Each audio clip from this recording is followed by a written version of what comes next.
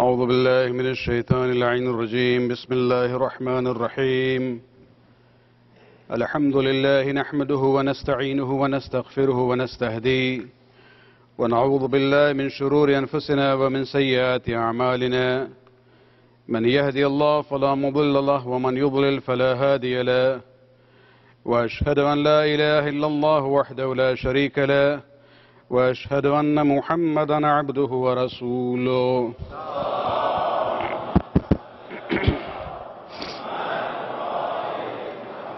سيد المرسلين وخاتم النبيين ورحمة للعالمين. وصلى الله على آله الطاهرين الذين أذهب الله عنهم الرجس وطهرهم تطهيرا.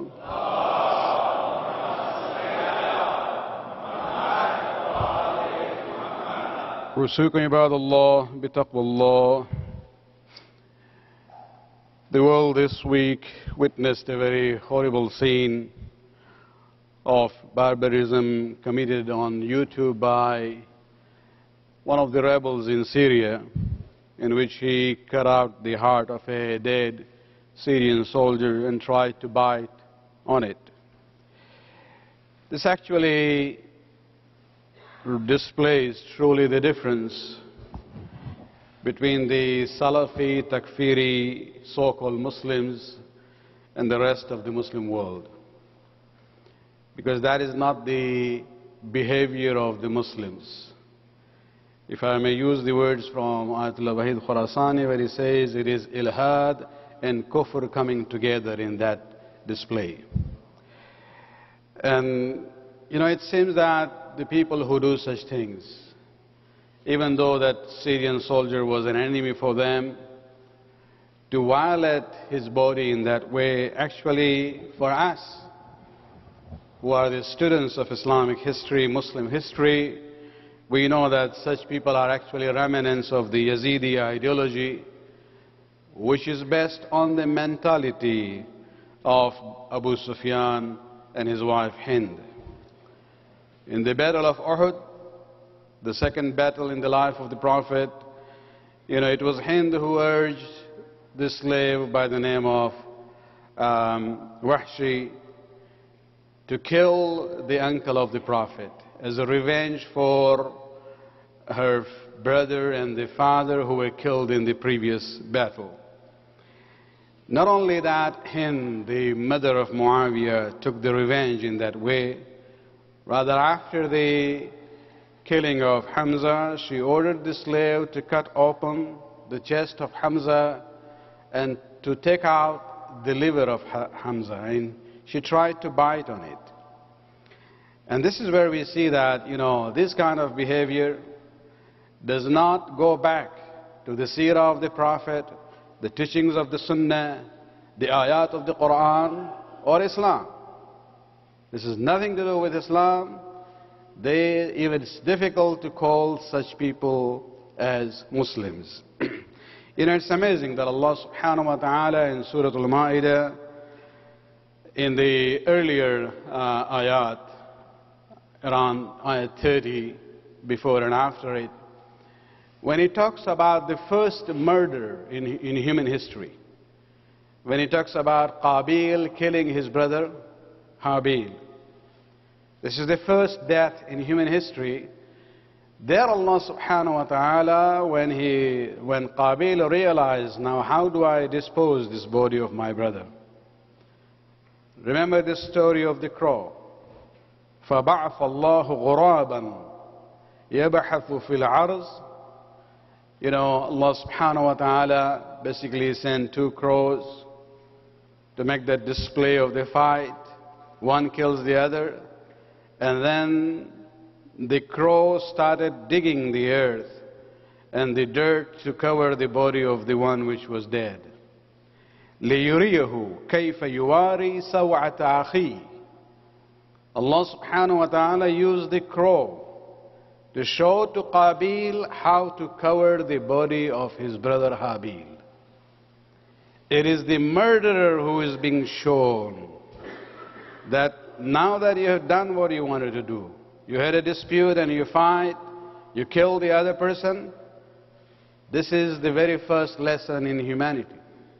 that even though he was an opponent or an enemy, that you consider him to be an enemy, you know, you have to respectfully dispose the body of the enemy. And that is the lesson given to us by Allah subhanahu wa ta'ala from day one. Anbiya and Mursaleen came.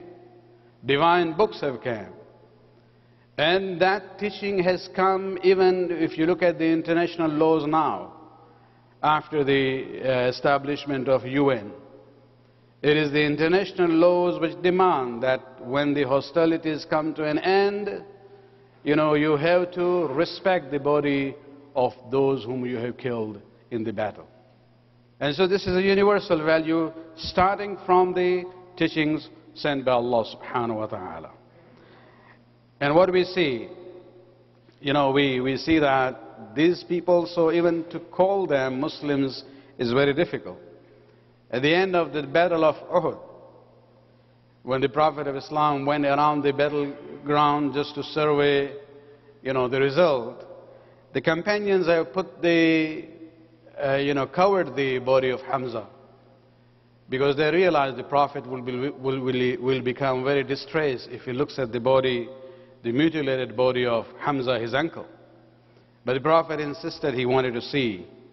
And this is where we see that, you know, the way he felt about it, whether it was right away at that time or later on, you know, you have the ayat of Quran, the story of the crow right in the beginning of the human history, but then the Prophet comes with the guideline. He says, إِيَّاكُمْ وَالْمُثْلَ وَلَوْ بِالْكَلْبِ الْعَقُورِ I warn you against cutting the limbs, even though it may be of a rabid dog. You know, I don't think the Prophet could have put that more stronger than this. You're talking about human beings. You're talking about somebody who says, La ilaha illallah Muhammadun Rasulullah.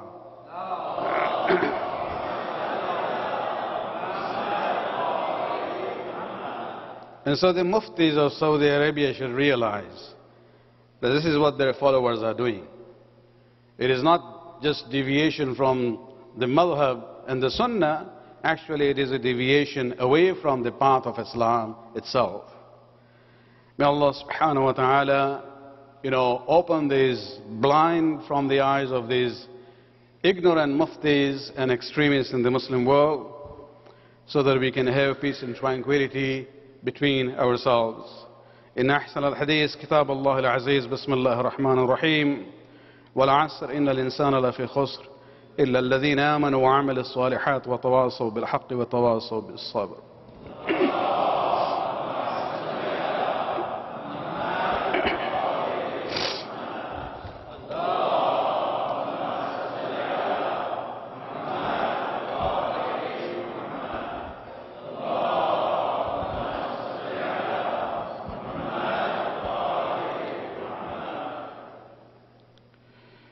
أعوذ بالله من الشيطان اللعين الرجيم. بسم الله الرحمن الرحيم. الحمد لله الذي لا إله إلا هو الحليم الكريم. غافر الذنب وقابل التوب وهو الغفور الرحيم. ونشهد أن لا إله إلا هو العتوف للعباد بجوده والعواد على المظلمين بحلمه. ونشهد أن محمدا نبيه وحبيبه.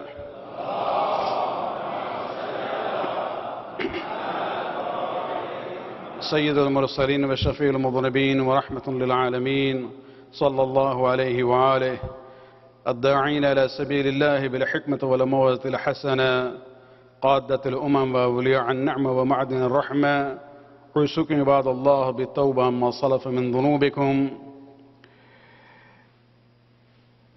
We, the followers of the Imams of Ahlul Bayt, we really take we can take pride in our affiliation with them. We can proudly say we are Shia Muslims because the Shia Muslims, even in the most you know, depressing situation, would not do things that we see done by the Takfiri Salafis. You know, when we look at the situation, whether it's in Pakistan, very depressing.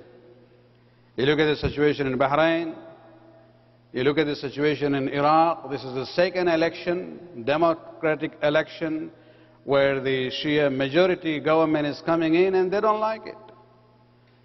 Even, you know, uh, yesterday, more than 36 people died in the explosions in Iraq.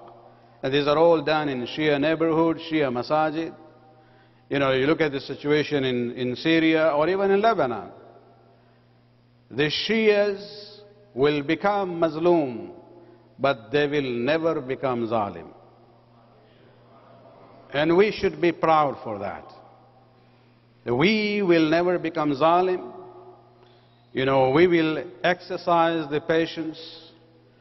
Retaliation is there, but not on that level. We don't want to go down to that level. You know, we just commemorated the wafat of our 10th Imam, Imam Ali al-Naqi alayhi salatu wasalam this week.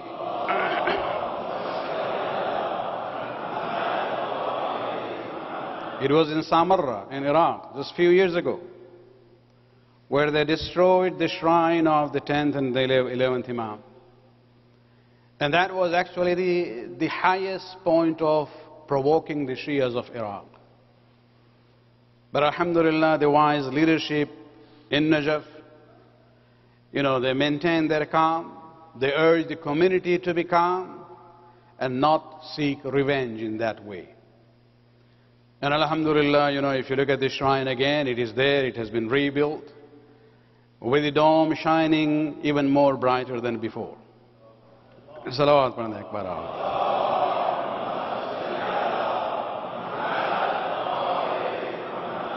And so in this, you know, era of doom and you know, gloomy situation, I think there are even moments where we can be proud for what we are.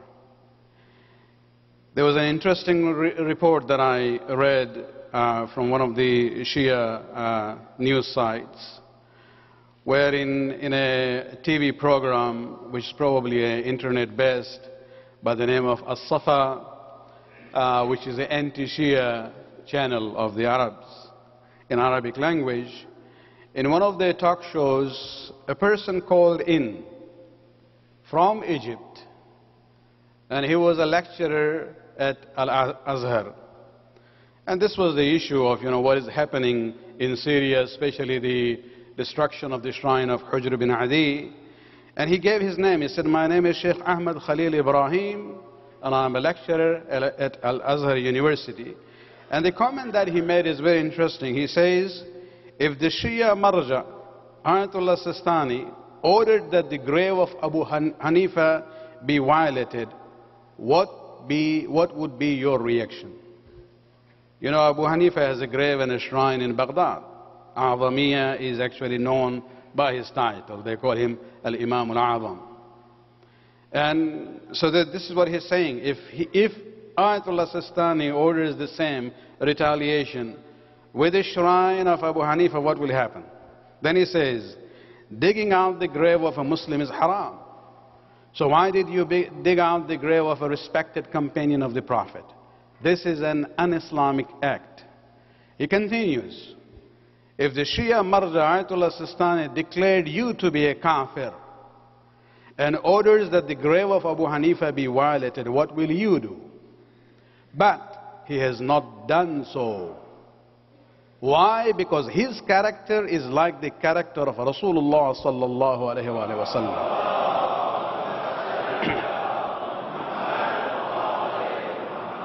While your character is like, and the line was cut off. But we can fill in the gaps there. Those on the other side, their character is like Yazid, of Yazid. They're followers of Muawiyah. They are followers of Abu Sufyan and Hind.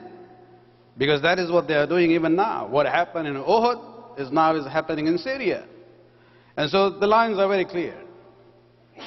And with that distinction, I think we have to keep our head high with pride. That we are the followers of the mazhab, which is showing us how to behave with civility, humanity, following the example of the akhlaq of the Imams of Bayt alayhim salatu wassalam.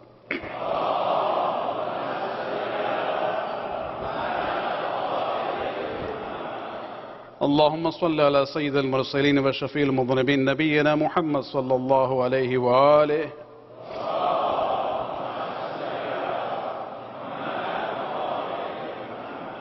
وعلى إمام المتقين وأمير المؤمنين علي بن أبي طالب صلوات الله عليه.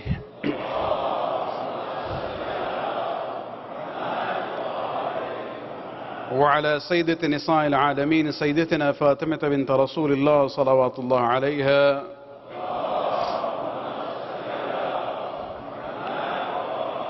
وعلى سيد شباب أهل الجنة الحسن المجتبى والحسين الشهيد بكربلاء عليهم الصلاة والسلام.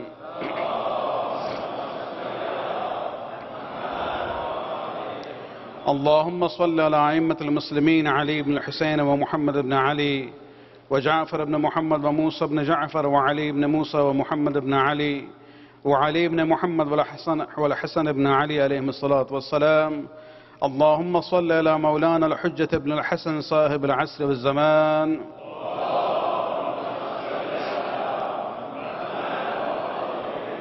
محي آثار البدء والطغيان هادم أمنية الشرك والنفاق. حاسد فرول البغي والشقاق صلوات الله وسلامه عليه وعلى آباء الكرام ما اتصلت الليالي والأيام.